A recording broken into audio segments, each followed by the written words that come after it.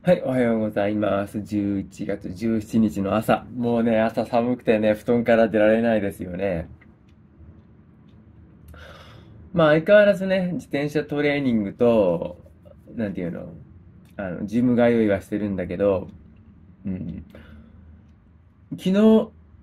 雨降りそうだったでしょ。まあ、実際、昼、夜降ってたけどさ、午前中は降ってなかったんですよね。だから、午前中、早く出て、まあ、いつものね、トレーニングコース走ったんだけど、まあ、朝寒かったしね、あんまり人いなかったんですよね、雨降りそうだったし。でも、鹿の島に行ったら、なんか、車を取り囲んでね、人がわらわらわらわらっていたんですよね。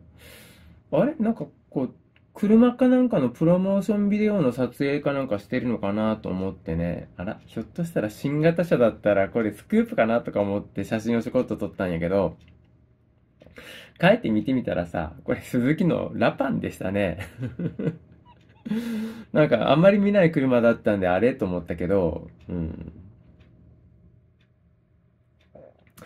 まあね、いろんなことがありますね、みたいな。で、今日は、まあ金曜日なんでね、えっと、キャナルに映画を見に行く日なんですね。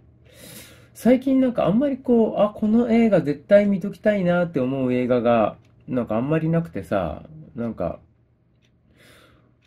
なんか映画レビュアー、映画レビュアーの YouTuber の動画を見ても、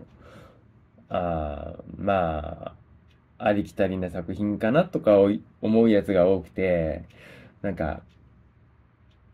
これ絶対見て、なんか、ああだこうだとなんか言い合いしたいような映画がないんですよね。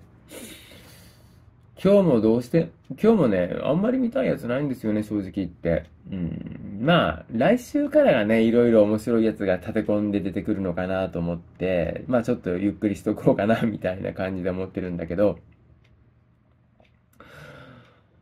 まあね、朝、朝夕は冷え込んで雨まで降ってくるとね、体調崩す人も出てくる。うん。なんかインフルエンザがね、ぼちぼち流行り始めてるみたいですね。皆さんお気をつけになってくださいと。はい、最後まで見ていただきましてありがとうございます。またのご視聴お待ち申し上げております。失礼します。